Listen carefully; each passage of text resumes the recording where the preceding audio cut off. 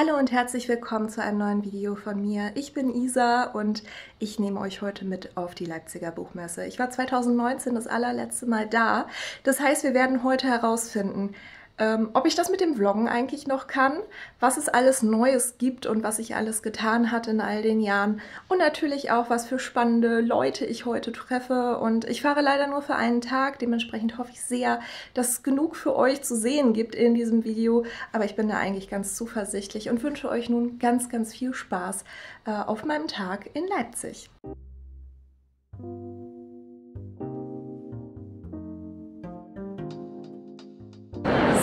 Sind angekommen und jetzt, äh, ja, ich weiß gar nicht mehr, wie man hier anfängt. Ich würde sagen, erstmal in der Halle.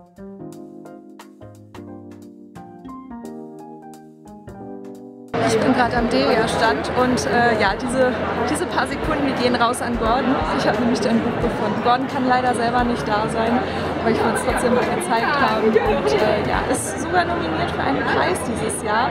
Also richtig cool, Gordon, ganz liebe Grüße gehen an dich raus. Dann hatte ich Glück und habe Olivia Viehweg an ihrem Stand angetroffen und sie war gerade dabei zu signieren und da habe ich mir ihr neues Buch geholt und es auch direkt signieren lassen.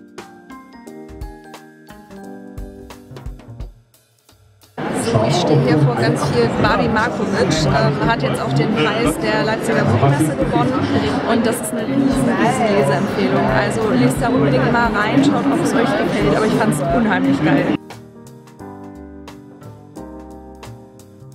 So, ich habe endlich jemanden gefunden, den ich kenne. Äh, hier ist Wanni und Wanni ist inzwischen nicht nur Bloggerin, sondern auch Autorin. Ähm, ja, und äh, ja, es gibt sie jetzt auch als E-Book. Ich freue mich mega. Das ja. Kennt ihr die hier noch? Hi, das ist Anni. It's been a while. Ja. Ich weiß gar nicht, wie ist dein Kanal zuletzt? Alles Anni? Alles Anni, Alles aber ich glaube, die Videos sind nicht mehr öffentlich.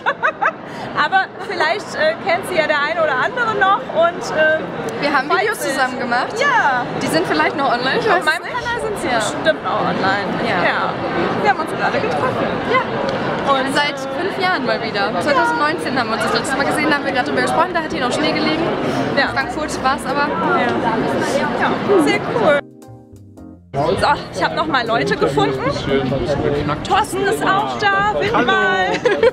Nach den Messepommes ging es auf eine Doppellesung vom Verbrecherverlag und da schauen wir jetzt mal rein. Mich hat jemand gefragt, was bedeutet eigentlich Futopia? Und ich habe es nie nachgeschlagen. Was bedeutet Futopia? Okay, äh, Futopia Plus ist eigentlich einfach der Name von dem Verfahren, um das es in dem Buch geht. Und das ist, dass Menschen ihr Bewusstsein digitalisieren und auch Pflanzen speichern können. Gibt es hier Insekten? Noch keine bemerkt. Immer nur diese großen Wesen. Die sind okay. Für ein Schulprojekt hat Eileen einmal einen Businessplan für einen fiktiven Wilhelmsburger Waschbärengrill geschrieben und sich damit einen Eintrag ins Klassenbuch eingehandelt. Der Zettel mit dem Firmenmaskottchen, das ihre Freundin Samira entworfen hat, ein Waschbär mit Grillzange in der Pfote, hat einige Umzüge mitgemacht und hängt nach wie vor an ihrem Kühlschrank. Stellen wir den zweiten Roman vor. Ähm, das ist äh, Ferrimont von Lorena Simmel. Äh, es geht in dem Buch um eine in Berlin studierende Schweizerin, ähm, die in ihren Heimatort Ferrimont zurückkehrt, um dort auf dem Feld Saisonarbeit zu leisten. Vor uns in der Dunkelheit begann sich eine weiße Masse abzuzeichnen. Eine riesige Fläche, die wie eine über den Hallenboden ausgeleerte, dicke Flüssigkeit aussah. So, der Messetag neigt sich dem Ende zu. Wir machen jetzt den Abflug und dann zeige ich euch noch kurz, was ich alles mitgebracht habe. Hier habe ich die Aufnahme zu schnell beendet. So, ich bin wieder zu Hause und wie versprochen möchte ich euch einmal im Schnelldurchlauf wenigstens zeigen, was ich alles mitgebracht habe. Und mich gibt es gerade mit Mütze, weil das Wetter auf der Rückfahrt grauenvoll war und ähm, ja, Das ist alles irgendwie nicht mehr so schön. Aber ist ja auch egal. Dafür gibt es jetzt hier meine Monstera und die gesammelten Werke. Ich zeige sie euch nur ganz, ganz knapp. Die Bücher, die zeige ich euch natürlich dann in den Neuzugängen nochmal genauer. Aber zumindest, äh, denke ich, ist es ganz interessant, einfach mal zu sehen, was denn in der Gesamtheit jetzt alles mit durfte. Ähm, und zwar macht den Anfang, einige Herren sagten etwas dazu von Nicole Seifert. Also Nicole Seifert schätze ich sehr in der Buchbubble und ja, sie hat ein Buch veröffentlicht über die Gruppe 47. Da sind Texte drin zu den verschiedenen Autorinnen dieser Gruppe und ich war ja beim, beim Termin ähm, beim Verbrecherverlag, davon habt ihr gar nicht so viel gesehen, also vielleicht habt ihr sogar gar nichts davon gesehen. Wie gesagt, das Vloggen ist so eine Sache ähm, nach so langer Abstinenz, ähm, aber auf jeden Fall wurde mir da auch das nochmal empfohlen, einfach weil da unter anderem auch über eine Autorin geschrieben wird, zu der dann auch irgendwann bald ein Buch erscheint. Ähm, lange Rede, kurzer Sinn. Ähm, ich musste mir das hier holen, äh, nicht nur wegen der Empfehlung, sondern auch, ähm, weil es das Ganze signiert gab. Und ich sag mal, die Signierung ist jetzt nicht ganz krass, aber äh, dennoch hatte ich einfach das Bedürfnis, das zu haben. Und ähm, ja, wenn es schon mal so signiert vor einem steht, habe ich es mir dann auch geholt. Äh, Nicole Seifert habe ich nur einmal ganz kurz beim Vorbeigehen gesehen. Äh, sie hat es jetzt also nicht ganz persönlich für mich signiert, aber ja, ich äh, habe trotzdem mal die Chance ergriffen. Dann wurde mir beim Verbrecherverlag noch ein Buch mitgegeben, Öffentlichkeiten zwischen Fakt und Fiktion. Da geht es unter anderem um Fake News, aber auch darum, was denn nun die Wirklichkeit und die Wahrheit ist. Also da bin ich sehr gespannt drauf. Ähm, das ist dann ein, ein Leseexemplar. Alles Weitere habe ich mir selber gekauft, was ihr in diesem Video seht. Ähm, dann Olivia Viehweg. Ich habe sie an ihrem Stand getroffen. Also sie hatte mit äh, ein paar anderen Menschen einen Stand aufgemacht und da habe ich mir ihr Buch geholt. Olivia Viehweg ist ja auch äh, Comic-Autorin, Comic-Zeichnerin und hat mir das dann auch äh, signiert und eine kleine Zeichnung reingezeichnet und das fand ich sehr süß. Ähm, ja, also Olivia Viehweg war ein großer Herzensmensch auf dieser Buchmesse. Also ähm, falls du das hier siehst, äh, fühl dich ganz lieb begrüßt. Und da habe ich mich sehr drüber gefreut. Dann an dem Stand habe ich mir noch einen neuen Untersetzer geholt. Ich habe nämlich immer einen Schreibtischuntersetzer und dann nehme ich auch immer irgendwas Cooleres und der alte, der musste jetzt langsam mal weg. Und hier gab es einen mit Katzen und der ist grün und naja, ich muss glaube ich nicht sehr viel mehr erzählen. Dann gab es auf der Buchmesse ähm, eine Sonderauflage von Scott Pilgrim. Das wird jetzt neu veröffentlicht und Scott Pilgrim ist mein absoluter Lieblingscomic. Der ist allerdings nicht für mich, sondern ein familiäres Mitbringsel. Ähm, das hat ein Variant Cover mit dem ersten Evil Ex-Boyfriend und äh, ja, sehr schön, ähm, aber wie gesagt, nicht für mich. Ich werde wahrscheinlich die normale Auflage holen, weil ich Scott einfach cooler finde, aber ja.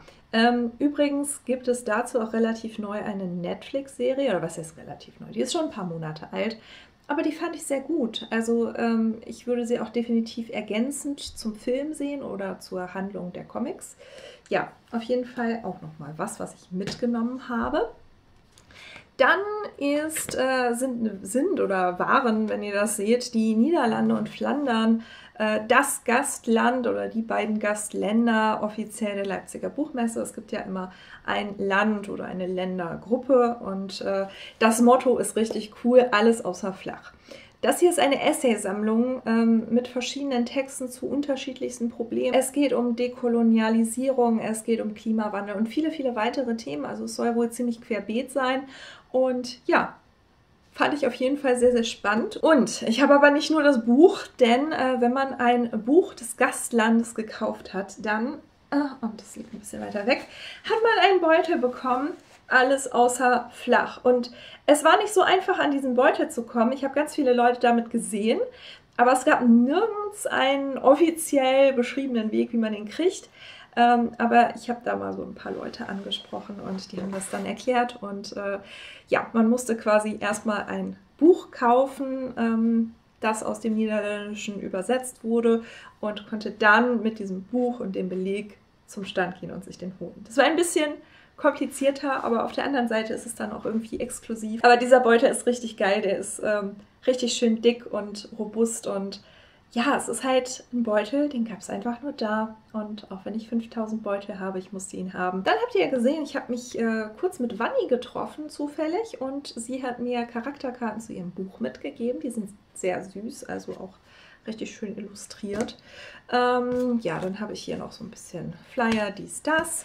Und äh, ein Buch, das ich mitgenommen und auf der Fahrt angelesen habe, ich sehe gerade, ich habe auch noch mal ein paar Postkarten mitgenommen, ist ähm, Phytopia Plus von Sarah Zerbe. Und äh, sie habt ihr ja auch in der Lesung gesehen und ja, also ich habe sie ziemlich doll in mein Herz geschlossen und ich habe das Buch jetzt noch nicht durch. Ich habe die ersten 70 Seiten ungefähr gelesen. Ich habe auf der Hinfahrt erstmal Aviada von Dilek Güngör gelesen. Das habe ich auch äh, fertig gelesen. Und das hier angefangen. Es hat mir richtig gut gefallen. Und dann habe ich gesagt, ich muss zu dieser Lesung hin. Und äh, ich fand die beiden, die da eben gelesen haben, auch richtig cool. Ähm, aber dann habe ich gesagt, also wenn ich schon mal hier bin und wenn da jetzt signiert wird, ne, dann will ich ja auch eine Signierung von Sarah Zerbe drin haben.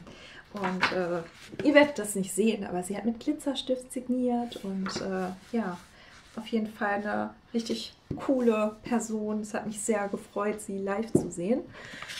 Ja, das übliche Postkarten, Postkarten. Und dann habe ich ganz zum Schluss noch etwas ähm, von Traduki. Auf jeden Fall werden durch Traduki Werke aus osteuropäischen Ländern übersetzt und rausgebracht. Und ähm, ja, ich habe mir das hier gegriffen. Titel ist Meine Mama weiß, was in den Städten vor sich geht von Radmila Petrovic.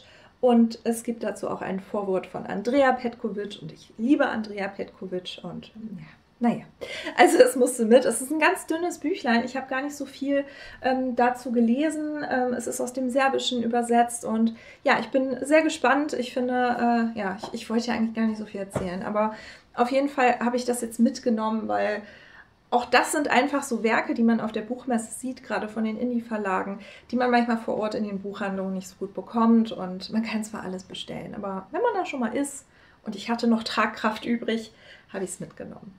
Ja, und das war es jetzt von meinem, ich hoffe nicht zu holprigen Buchmesse-Vlog. Ich habe das Material ja noch gar nicht gesehen. Ich bin erst seit 20 Minuten zu Hause. Aber ja, so, so war es auf der Buchmesse und es war auf jeden Fall sehr, sehr schön. Ich hoffe allerdings im nächsten Jahr ein bisschen mehr äh, vorweg zu planen, damit ähm, das nicht wieder so eine Hauruck-Aktion an einem Tag hin und wieder zurück wird. Ähm, das war immer noch schöner, als gar nicht zu fahren, aber ja, es, es gibt schon so ein paar Ideen, in welcher Konstellation man fahren könnte. Und da hätte ich auf jeden Fall wieder richtig Lust drauf, denn ja, ich finde, es macht auch ganz viel, da einfach so seine Gruppe zu haben und ähm, da einfach auch mehr zu machen und mehr Termine zu haben. Ich bin ja hauptsächlich über die Messe gegangen und ja, also auf jeden Fall war es sehr schön. Ich äh, bin jetzt sehr beseelt wieder zu Hause und ja, freue mich, diesen Vlog für euch zu schneiden, den ihr ja gerade gesehen habt. Und ich hoffe sehr, dass wir uns beim nächsten Mal wiedersehen. Das würde mich sehr freuen. Und äh, ja, dann macht es gut und tschüss.